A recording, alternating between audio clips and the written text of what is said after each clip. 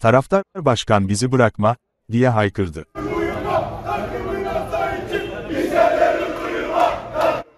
Birinci lige yükselme maçlarında direkten dönen İskenderun Spor Kulüp Başkanı Hakan Bolat'ın sahipsiz kaldığını gerekçe göstererek takımı bırakmak istediğini duyurması üzerine turuncu mavili taraftarları sokağa indi.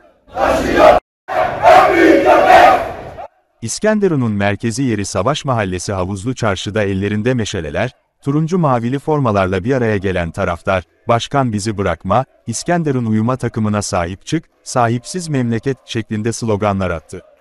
Stadı yıkılan, ardından depremi yaşayan depremin çocukları gibi de sloganlarla maçlara çıkan İskenderun Spor'un taraftarları takıma sahip çıkılması için her kesime çağrıda bulundu. Stadın yıkılmasının ardından bütün maçlarını deplasmanda oynayan buna rağmen 1. Lige yükselme yolunda yarı finalden dönerek büyük bir başarıya imza attığını ifade eden taraftar sözcüsü Müjdat Kara şunları söyledi. Türkiye'de top koşturan birçok futbolcu ve teknik direktörün gelmek istediği bir takım haline gelmiştir. İlk senesinde bizlere 26 senedir hasret kaldığımız ikincilik kapısını açmıştır. Hakan Bolat maalesef bu sezon yaşanan birçok olumsuzluğa rağmen büyük başarıya imza atarak şanssız bir şekilde finalin kapısından dönmüştür.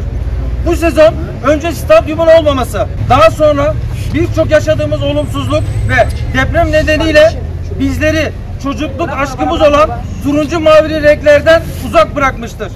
Buna rağmen her maç deplasmanda oynadık. Takımımızı yalnız bırakmamaya özen gösterdik. Gelinen noktada görüldü ki bir takım stadyumu olmadan ve taraftarından mahrum kalarak hiçbir yere gelemez. Maalesef İskenderunspor kendi seyirci ve sahasında bir tane bile maç oynamadan sezonu tamamladı. Bu bağlamda başkanımız Hakan Bolat yalnız bırakılarak çocukluk aşkı İskenderunspor başkanlığından istifa etme kararı aldı. Hak, Hakan Bolat başkanımızın istifayı geri çekmesini ve her yönden sahip çıkılmasını istiyoruz.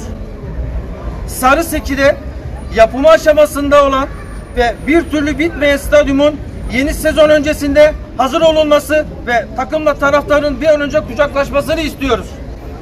Yalnız bırakılan başkanımızın maddi ve manevi anlamda her türlü destek verilmesini istiyoruz. Birçok belediyenin şehir takımına sunduğu imkanların benzerini İskenderunspor'a ve bizlere verilmesini istiyoruz. Depremin acılarını hepimizin içinde dururken İskenderun'da futbol dışında sosyal bir hayat kalmamışken bir nebzede bu acılarımızı mutluluğa dönüştüren İskenderun sahip İskenderunspor'a sahip çıkılmasını istiyoruz.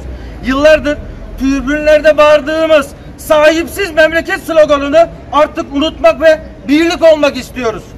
2023-2024 sezonun İskenderunspor'a, şehrimize birlik ve beraberlik sezonu olmasını canı gönülden temenni ediyoruz. Sahipsiz memleket, sahipsiz memleket, sahipsiz. Yeni sezon şampiyonluk kupasını kaldırmak olduğunu belirtmek istiyoruz.